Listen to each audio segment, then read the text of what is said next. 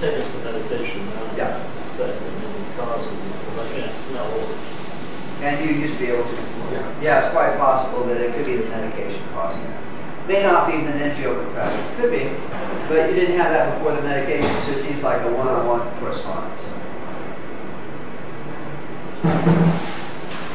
So it's possible that certain treatments could actually make the neurologic symptoms worse if meningeal compression is going on. And so um, most types of care stimulate the nerves many of which are already overstimulated. If they're overstimulated, then you get too much, and that's why certain things may actually make it worse. So sometimes massage, physical therapy, spinal manipulations, and exercise can make things worse.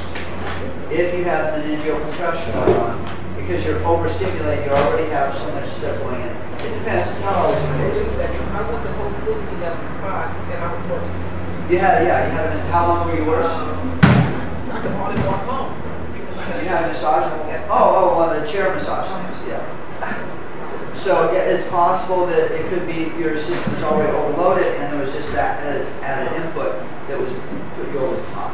There are times where uh, sensory input onto the scanner, deep muscle uh, sensors, is something that your body craves. And it increases the amount of, the dopamine and serotonin, the good, the good um, neurotransmitters in the brain, the, the feel-good hormones.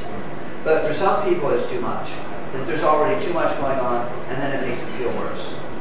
Or sometimes with massage, you can be releasing toxins or something else in your system that floods your system, and you go, oh my gosh, I feel really bad now because it's released, and you have to drink a lot of fluids and stuff. You know, you know, I can cut your, just, you know, Yeah. I'm going like, that's all. So, so, so, yeah, people are very different in the in the in their uh, sensitivity and how receptive they are to touch. Some people only want a certain amount. Other people crave more than they'll ever get in their whole life. I mean, we were all born. We all developed inside our mother's womb, and um, that's this environment where you're constantly being touched on all areas. Just as you get larger and larger, you're still being touched all over. And then you come out, and then all, then it's one reason why we wrap up babies is to keep them warm, but also to get that feeling that there's that sensory input going into the system. And so, um, at a certain point, there may be aspects of ourselves that just need that a lot more to get that kind of baby, baby womb feeling.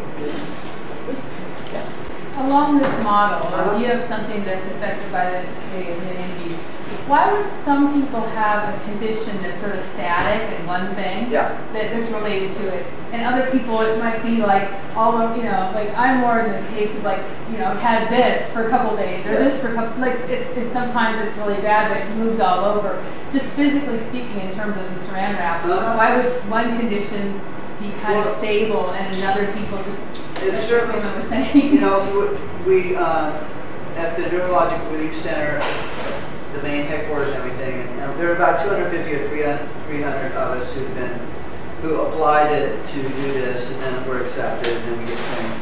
We're working on doing research. One of the first people um, who was working on this wanted to get an MRI machine and do MRIs on everyone, just actually image the changes going on in the meninges.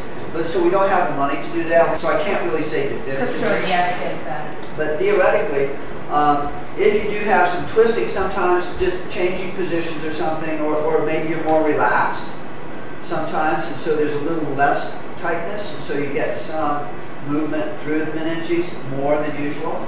It's like having a, a, a, garden hose or something going through the middle of the towel, and you squeeze off the towel really hard, and so the garden hose doesn't run very well, and then you unsqueeze it a little bit, or like a kink in a garden hose. You know, you unkink it, and so it starts flowing a little. If you could totally unkink it, it worked perfect. But it never quite get, gets to the totally unkinked. So it may be something of that nature. But also, why would somebody have, like, someone might have a main thing, like I hurt my back and it's been hurting, and then Yes. someone else has all kinds of symptoms. And I'm just curious, like, if, Because it can come from anywhere.